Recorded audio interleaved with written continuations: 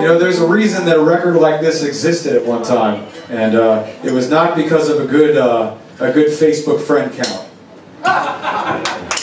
It was because of somebody who wanted to build something with people who knew what the fuck they were doing. And we got the whole, it started with, uh, I'd say it started with the music business in terms of our cultural collapse.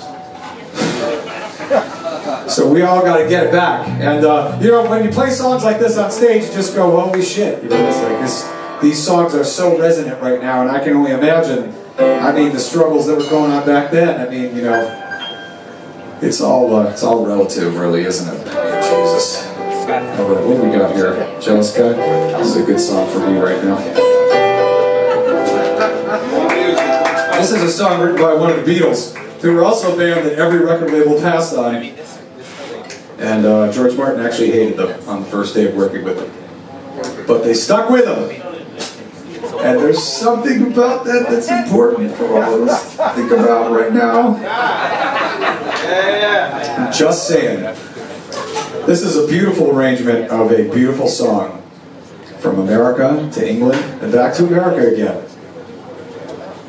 Let's do it. All right. Do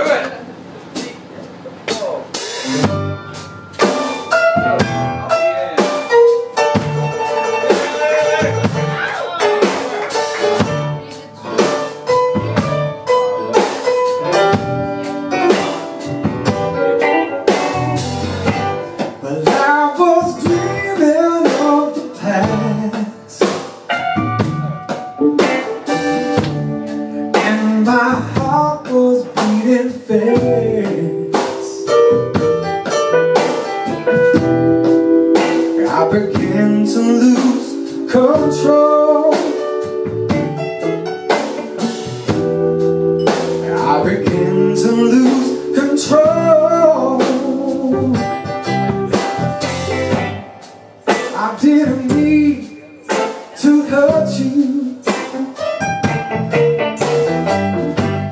And I'm sorry I made you cry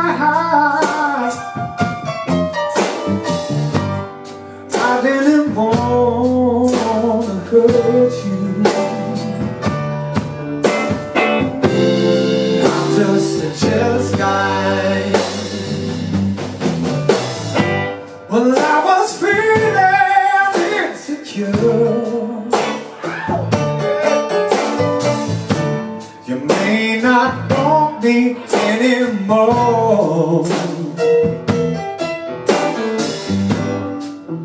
I was shivering inside.